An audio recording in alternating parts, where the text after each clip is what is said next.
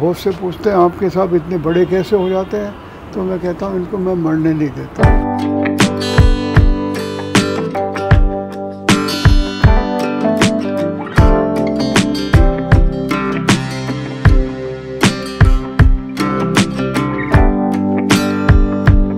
पौधे छोटे छोटे हैं और नाम बड़े बड़े हैं। हाँ देखिए कितना लंबा नाम है अभी लिथाउस तो ऊपर रहेगा एक नाम मिसिंग है। अभी लिथॉप जोड़ना बाकी है बिल्कुल ठीक है।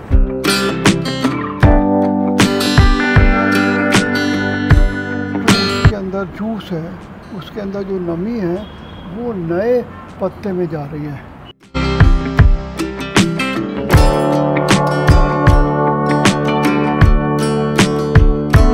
जो डिज़ाइन है, ये इसका मतलब है। सो हेलो फ्रेंड्स एक बार फिर से स्वागत है आपके अपने चैनल चलो बागवानी करे हुए दोस्तों, जैसे कि आप जानते हैं, मैं हूँ जयपुर और हमारे चैनल पे चल रही है जयपुर सीरीज़ जिसमें मैं अलग अलग टेरेस गार्डन में विज़िट कर रहा हूँ और बहुत ही बेहतरीन कलेक्शन दिखा रहा हूँ आपको गार्डनर्स की। एक बहुत ही पॉपुलर गार्डनर है के के अग्रवाल जी। तो उनके पास मैं आया हुआ था और बैक टू बैक काफ़ी सारे पार्ट्स मेरे चैनल पे आ रहे हैं। आज मैं शूट करने जा रहा हूँ पार्ट थ्री जो कि होने वाला है लिथॉप्स पे। जी हाँ दोस्तों, देख सकते हैं, बहुत ही बेहतरीन कलेक्शन है लिथॉप्स का। बहुत ही रेयर कलेक्शन आपको यहाँ पे देखने के लिए मिलेगा। बहुत ही सारी वैरायटीज़ इसकी देखने के लिए मिलने वाली है। तो अगर फ़र्स्ट टाइम चैनल पर आए हो तो ऐसी वीडियोज़ के लिए चैनल को सब्सक्राइब करें, क्योंकि मैं रोज़ाना किसी ना किसी टेरेस गार्डन में विज़िट करता हूँ और वहाँ की वीडियोज़ मेरे चैनल पर आती रहती है। अभी मैं आया हूँ जयपुर। जयपुर की सीरीज़ हमारे चैनल पर चल रही है। बैक टू बैक आपको दस, बारह, पंद्रह एपिसोड देखने के लिए मिलने वाले हैं। इसके बाद मैं लखनऊ के लिए भी जाने हूँ और उसके बाद हम जाएँगे हिमाचल के लिए। तो दोस्तों हम बैक टू बैक अलग अलग स्टेट में विज़िट कर रहे हैं और सभी जगह की आपको वीडियोस दिखा रहे हैं। तो आज जो कलेक्शन देखेंगे आप लिथॉप्स का देखने वाले हैं तो वीडियो का पूरा देखना। स्किप करते हैं तो काफ़ी सारी इन्फॉर्मेशन छूट जाती है। फ़र्स्ट टाइम चैनल पे आए तो चैनल को भी सब्सक्राइब कर लीजिए बेल आइकन भी ज़रूर क्लिक करिए। और हाँ एक और बात बताना चाहूँगा इंस्टा पे फॉलो नहीं किया तो वहाँ भी ज़रूर फॉलो करिए क्योंकि इन सभी की रील्स भी वहाँ पे अपलोड होने वाली है तो आप उसे भी देखेंगे आपको काफ़ी मज़ा आएगा। चलिए बिना देरी शुरू करते हैं आज की वीडियो मैं दिखा रहा हूँ जो पौधे इनका नाम है लिथॉप्स बॉटेनिकली लिथॉप्स लैटिन के अंदर मतलब मतलब होता है पत्थर, क्योंकि ये पत्थर जैसे ही लगते हैं। कंकर पत्थर पे जैसे पड़े हों, वैसे। और हालाँकि ये अगर इनके बारे में जान जाए पहले, अगर नॉलेज हो जाती है तो सबसे आसान उगाने के हैं पेड़। और वैसे ये सबसे डिफ़िकल्ट पेड़ है, जो आपके पास लोगों के पास इधर उधर से कलेक्शन में दो चार पीस मिल सकते हैं। पर इतनी सारी वैरायटी आपको कहीं नहीं मिलेगी, जो कि मैंने सारे बीज से उगाए हुए हैं। और इनको बहुत से पूछते हैं, आपके साहब इतने बड़े कैसे हो जाते हैं? तो मैं कहता हूँ, इनको मैं मरने नहीं देता हूँ। तो मरे, मरेंगे तो इतने बड़े कहाँ से होंगे? इसलिए मोटे हो गए हैं। अभी अभी सीज़न चल रहा है, इसमें जो पुराने पत्ते हैं उन पत्तों को जो उसके अंदर जूस है, उसके अंदर जो नमी है, वो नए पत्ते में जा रही है पूरे। और ये बाहर के सूख जाएँगे पत्ते। और ये हवा से उड़ने लग जाएँगे। सब अलग हो जाएँगे इस टाइप से। तो पर ये नमी, क्योंकि इनके जो जहाँ ये उगते हैं अफ्रीका में इनकी हैबिटेट्स हैं, वहाँ साल में तीन चार इंच खाली बारिश आती है। बाकी ये जलवायु वगैरह से ही पानी की आपूर्ति करते हैं अपनी। इसलिए इनको कम से कम हवा से, शुष्क हवा से इनका पानी उड़े, उस मेथड को अपनाया है। जैसे आप देखेंगे कि इनमें जो डिज़ाइन है, पेड़ों में जो डिज़ाइन है, ये इसका मतलब है। ये जैसे आपने देखा होगा, पत्ते पेड़ों में आते हैं, झड़ जाते हैं, सूख जाते हैं, सब होते हैं। इनमें कुछ नहीं। इनमें पानी भरा है। पचानवे परसेंट इसमें पानी है सेल्स में। और क्योंकि पत्ते नहीं हैं तो अपनी एनर्जी के लिए और पत्ते क्लोरोफिल वगैरह से काम चलाते हैं धूप से तो इन खिड़की में से नीचे शाफ्ट हैं। तो ऊपर धूप की रोशनी जाती है, रोशनी जाती है तो उससे एक क्लोरोफिल बना के अपना जीवन चलाते हैं। जैसे आपने देखा होगा, लड़ाई के बाद ये बंकर बना लेते हैं, लोग बाग उसमें घुस जाते हैं तो उसी टाइप से चीज़ें हैं। पर ये इनको जो कहते हैं ना, सकुलेंट जो क्लास है, उसके अंदर सबसे ज़्यादा विकसित ये लोग हैं, जो इन्होंने अंदर ही अपनी फैक्ट्रियाँ बना ली है। बाहर से क्योंकि वातावरण बहुत ख़राब है, इसलिए वो करते हैं। जैसे आप देखिए, पहले दूसरा कलर था ओरिजिनल कलर में आ रहे हैं, क्योंकि इसका सेब सूखता जा रहा है। ये इनका ज़्यादा सूख गया, देखिए तो मोटापा ये सब कम हो गया है। और इनका मोटापा है। इसमें तो बिल्कुल ही सूख गया है। सर लिथॉप्स में कितनी वैरायटी आती हैं? इसमें है करीब चार सौ वैराइटीज़ हैं डिफरेंट चार सौ वैराइटीज़ आपके पास कितनी वैरायटी होंगी? मेरे पास लगभग समझे साढ़े तीन सौ तो है। साढ़े तीन सौ वैराइटीज़ हैं आपके पास। हाँ, नाइस। यह है कि इनका नाम रखना बहुत ज़रूरी है। जी। क्योंकि आपको अगर ये पता है कि आपके पास ए बी सी डी है तो ही तो आप ऑर्डर करेंगे ई एफ़ जी का जी। नई वैरायटीज़ का। जी। अदरवाइज़ तो आप नहीं कर सकेंगे आप ये थोड़ी लिखेंगे बाहर कि साहब वो ब्राउन ग्रीन ग्रीन में ब्राउन ब्राउन जी जी जी। बोटेनिकल नेम पता होना ज़रूरी है। उसके बगैर तो कोई नहीं जानेगा। कॉमन नेम अलग है लोग बाग जैसे तो कॉमन नेम से सब नहीं जानेंगे। पर बॉटनिकल नेम तो यूनिवर्सल है। जी। मतलब कोई से भी कंट्री हो उससे जान सकते हैं। तो नाम लिखना ज़रूरी है। सेकेंडली नाम अगर आपका है तो आपकी कलेक्शन की value five to ten times ज़्यादा हो जाती है। इनमें देखेंगे आप कितना आर्टिस्टिक वर्क किया हुआ है। सब में अलग अलग वर्क है। ये देखिए आप। जैसे कोई मीनाकारी की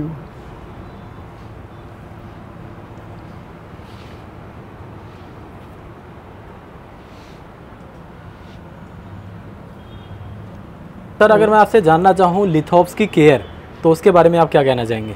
सब बात यह है केयर की मैं बात बताऊँ कि जब मैंने लिथॉप्स के बारे में सोचा मैं इसको उगाऊँ तो बीज मंगवाए मैंने और कंटिन्यूस छः साल तक आ, हर साल बीज उगते थे, बड़े होते थे, मई, जून में मर जाते थे। खाली दस परसेंट बचते थे। तो फिर मैंने कहा, क्या किया जाए गिव अप करें? तो अपने बस का रोग नहीं है। पर फिर मैंने कहा, किताबों में लिखा रहता है कि बड़े ड्राई क्लाइमेट में होते हैं तो अपन उसको मान के चलो ना कि उन दिनों पानी मत दो। बगैर पानी देते कितने मरते हैं? तो मैंने यही किया, सातवीं बार जब उगाए बड़े हुए मई, जून आई तो इनको पानी नहीं दिया, मैंने कहा, मरने दो, ऐसे ही मर जाते हैं। तो मैंने देखा, मेरे पास पचानवे परसेंट जीवित रह गए। तो उससे मेरे को आइडिया आ गया कि इसका क्या इसका क्या स्वभाव है। अच्छा दूसरी बात यह है कि हम किताबें पढ़ते हैं इनके बारे में, जो मोस्टली यूरोपियंस की लिखी हुई है। अच्छा यूरोप में क्या है कि वहाँ सर्दी पड़ती है, बर्फ़ पड़ती है। हमने तो यहाँ कभी बर्फ़ ही नहीं देखी है और सोचते भी नहीं है। तो वहाँ क्या है कि सर्दी में ये इनका डॉर्मेंसी पीरियड चला जाता है। ये गवर्नमेंट हो जाते हैं, उगना बंद कर देते हैं और फिर बाद में जब गर्म दिन आते हैं तो उगते हैं। तो मैंने कहा अपने तो कभी बर्फ़ पड़ी नहीं। और मैंने देखा, जब बचे थे पेड़ उनमें कि सर्दी में ज़्यादा उगते हैं, गर्मी में उल्टी, वो डॉर्मेंसी होती है, उल्टा सिस्टम तो मैंने वो फॉलो किया। गर्मी में जैसे मैंने मैंने भर के अंदर मुश्किल से एक दो बार पानी देता हूँ जो भी छिड़का लोगों भाई चलो धो दिया, ऐसे नहीं डीप कर दिया।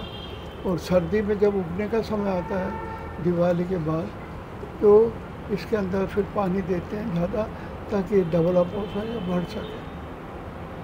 ये और खाद का तो यही है, जो मैं और चीज़ों में दे रहा हूँ, पच्चीस परसेंट गोबर या पत्ती का डालता हूँ। और पोरेसिटी हुई, एक से चार एम एम प्लस डस्ट का अच्छा इसमें ये ज़रूर है कि पानी वगैरह में एक भी गलती कर दी आपने तो गए काम से। कोई माफ़ी नहीं है। आप जैसे कैक्टस में तो काट के और जो दूसरा सही पोषण उसको आप लगा सकते हैं, इसमें कुछ नहीं। नेक डे चटनी मिलती है, आप उठा भी नहीं पाएँगे। तो गया सो गया। और देखिए, मेरे पास वो लिस्ट बनी हुई है, कब पानी दिया था, कब क्या था किसमें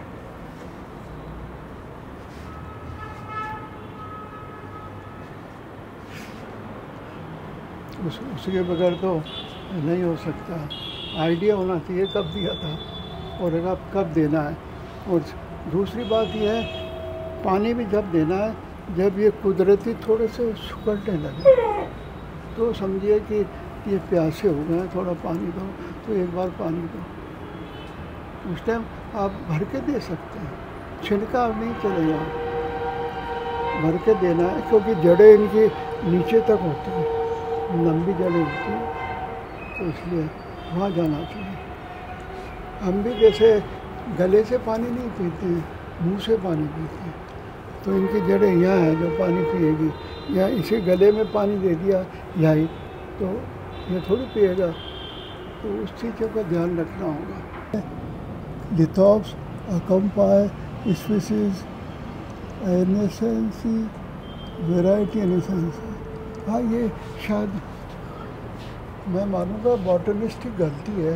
इतने छोटे छोटे पेड़ों के नाम इतने लंबे लंबे जी जी जी। क्या ज़रूरत थी यार? बिल्कुल ठीक है। टॉप में स्फीति रख देते हैं। जी।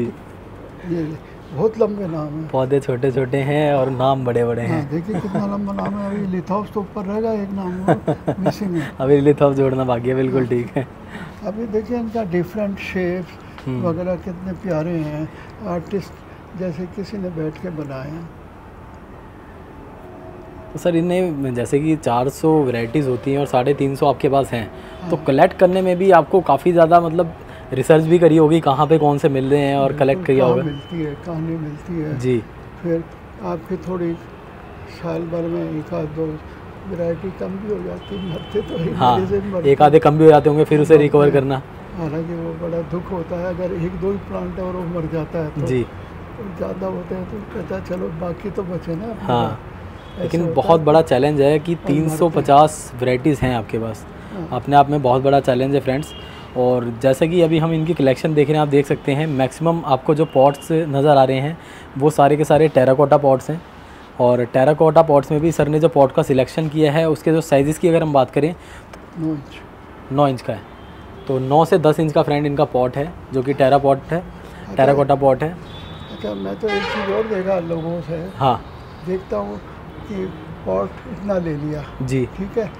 फिर कोई भी पौधा वो लगाएँगे ऐसे जैसे कम में कम भरते हैं पानी हाँ। और लगा देते हैं। तो ऐसे लगता है आप ऐसे करके कुएँ में देख रहे हो। ऊपर खेत लगाओ रे बिल्कुल बिल्कुल। उसको पूरा फ़ायदा तो दो जो भी खाद का उसका कमरा है। जी।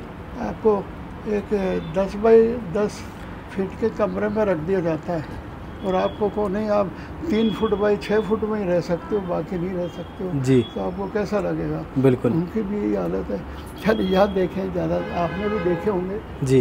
वो जैसे कुएँ में पेड़ उग रहे हो ऐसे कर देते वैसे फ्रेंड सर मैं आपको बताना चाहूँगा मैं काफ़ी नर्सरीज़ वगैरह में भी जाता हूँ तो मैं वहाँ पे लिथॉफ देखता हूँ जो कि बहुत छोटे छोटे पॉट में भी होते हैं।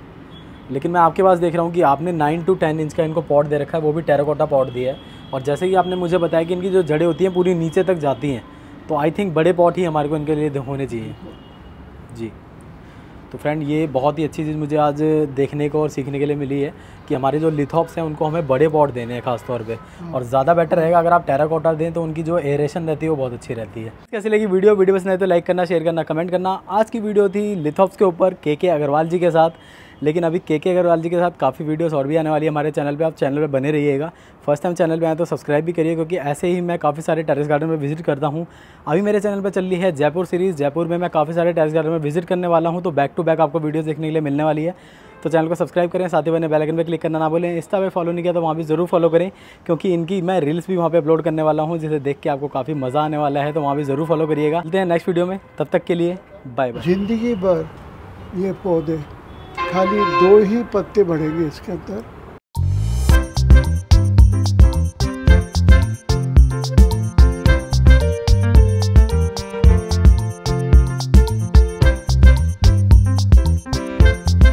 डेढ़ हज़ार से 2000 साल पुराने पौधे मिलते हैं।